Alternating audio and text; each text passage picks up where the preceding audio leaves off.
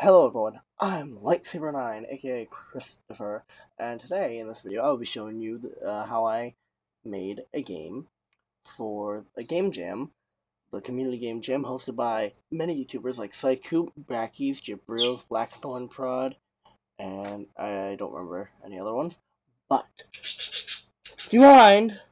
So yeah, I'm going to show you how to how I did that, and the game is really short, but I made it in four days, and I think it's pretty cool. So, thank you all for watching, and goodbye. So when the theme was announced, the first day, I was busy. I was recording a video, a Minecraft video, and so I just, I looked at the theme. The theme was, the game is a liar. So, I was just playing Minecraft, trying to think of some game ideas. I can't remember any of the other, like the first ones, but the one I ended up going with was you would have it would show a character and it would give you three things about them where two are true and one is a lie. But you come to find out at the end without spoiling mm, actually i won't spoil it. If you guys want to play there will be a link to the itch.io page and to the game jolt page in the description. So what i'm making here is the very start or not the very start but when you first learn about what the game is, I'm making the system that allows you to see the text and then skip to the next text, rather than it just skipping automatically like I used to do in some of my games that I made.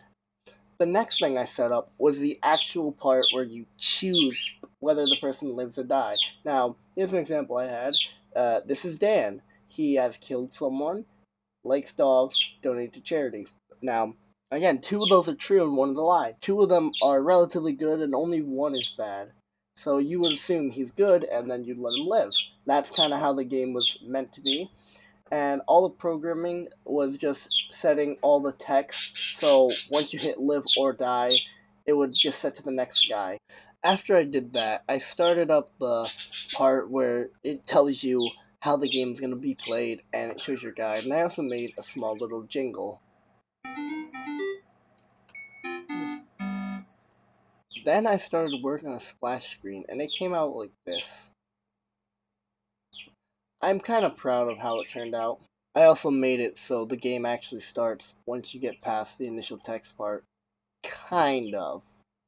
I then added Dan in and made another little jingle to go with the whole thing. Once I added more people in, the programming started to look a little bit like this. It was also around this time that I actually had an interview for Domino's. After said interview for Domino's, I did a lot of work.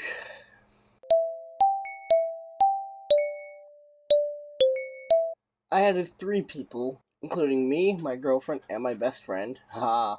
And they all have, everyone has their own unique death animation, which I don't remember if I showed it in video, but if you want to look at check it out, then you should download the game. Link in the description.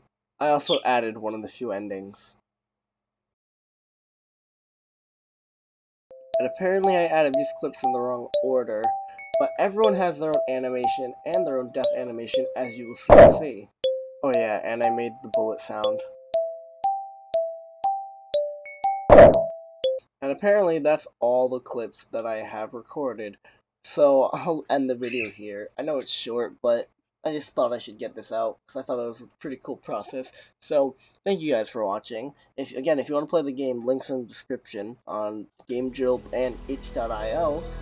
The title of the game is Live or Die, and there are three endings, and you can find them all. They're not hard. Anyway, thank you guys.